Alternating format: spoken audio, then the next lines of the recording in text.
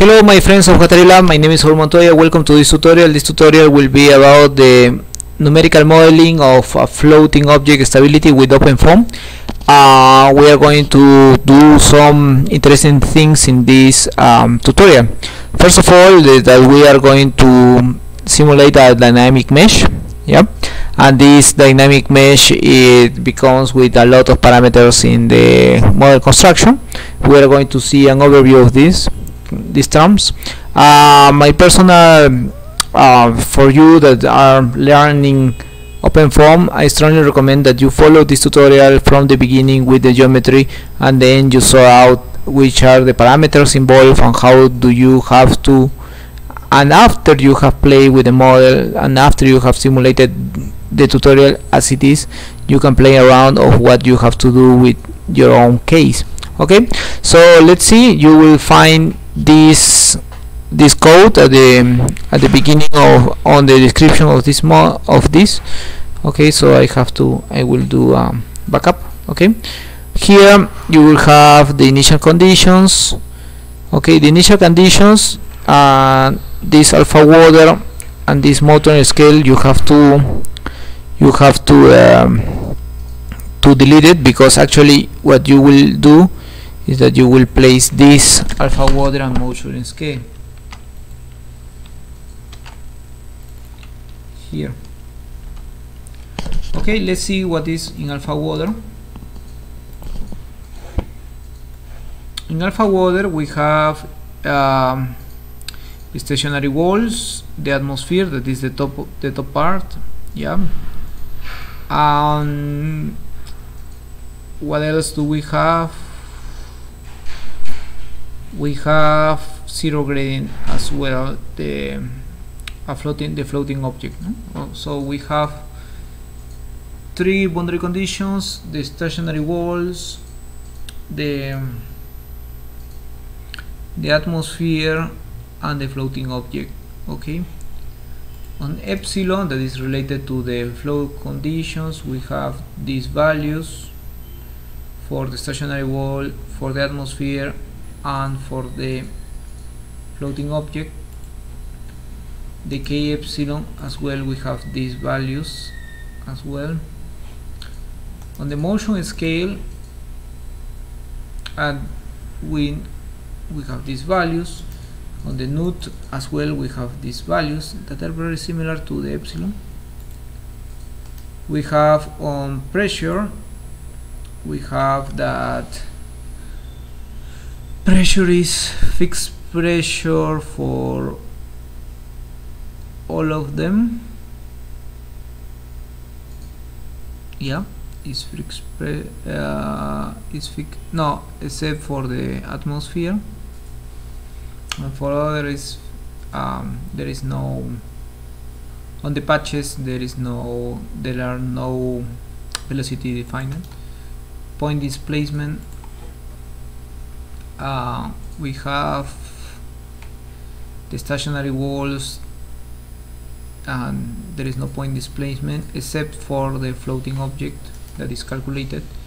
And the velocity there is no velocity because in the end where we are going to what we are going to simulate is the what we are going to simulate is the is a wave. So actually it's not water coming into the into the model okay so let's see. Here. Okay the dynamic codes are some code for the that is used for the simulation. Actually you don't have to do much here. And okay and then on ah, okay let's see on constant on constant you have the dynamic mesh dict. Actually this you didn't this is this is a uh, okay this is not working because actually it's not not exactly the name but this is for rigid body motion and the that is uh, that is a body that do not have all the degrees of freedom. But uh, in this in this simulation we are going to use this one that is 6 degrees of freedom rigid body motion that actu is actually the floating object can have uh, displacement on the xyz and rotation on the xyz okay? Axis. Okay so the the floating object has a lower density than water that's why it floats and these are the the dimension of the floating object okay and then I strongly recommend that you start to read a lot because this is this is what it will bring you to understand what is going on here okay? Then gravity goes in the z direction negative transport properties. We have Newtonian water and air because we are we use interFoam yeah on the turbulence we are on the RAS of K epsilon that's why we need the that's why here we have K and epsilon and this is the nut nu nut is the nut I think let me check. I don't know if I take nut out it will still work because nut is another nut k is another type of office okay I I do not want um, I do not want to to experiment here this video but let let's try okay. Okay so in constant everything is okay. On system we have the block mesh dict. The block mesh dict is actually what it it creates a, a cube of one meter by one meter. Okay a control dict that we're going to simulate for only 4 seconds but every 0.05 that's why we are going to simulate every 0.05 because we want uh, the oscillations due to the geometry of the model the oscillations are really fast. So in order to to represent well the, those oscillations we need to have a very small write interval. Okay this is the compose predict in case you want to decompose and to do parallelization we work on windows. So actually I don't know how to do it in Ubuntu. You can do more on this. You have some schemas. Yeah these are more parameters that you have to solve what you are going to do. Okay on control dict. Mm -hmm. okay on solution let's see pimple hmm. on set fields dict you have this is actually this is the level of the of the cube on the cube. So it's 0.53 and the we are going to have um, we are going to have um, a wave that is coming from one side and it has a height of 0.75 so it's actually around 20 centimeters higher than the than the than the initial value okay? And this is the toposet that is that this this one is that actually creates this floating object okay? So let's run it.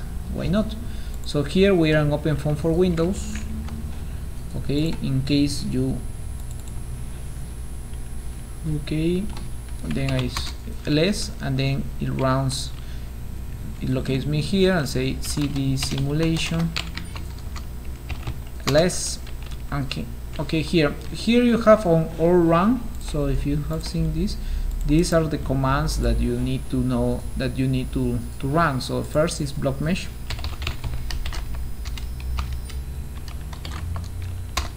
Okay so we have created a block mesh. There are 12,000 12, cells.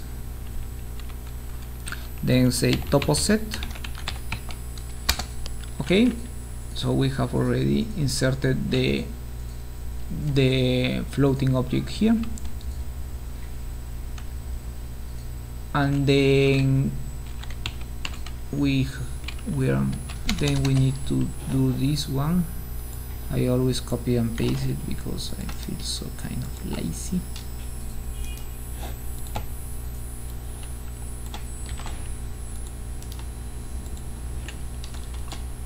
Okay there is a warning here that I strongly recommend that you read more because then we we set up the initial conditions. Okay and then we just run interFoam okay great. So it's working. And it will work for some minutes. And I will stop the um, I will stop the simulation here. And I will wait till it's finished. So let's see see you in the coming in the coming tutorial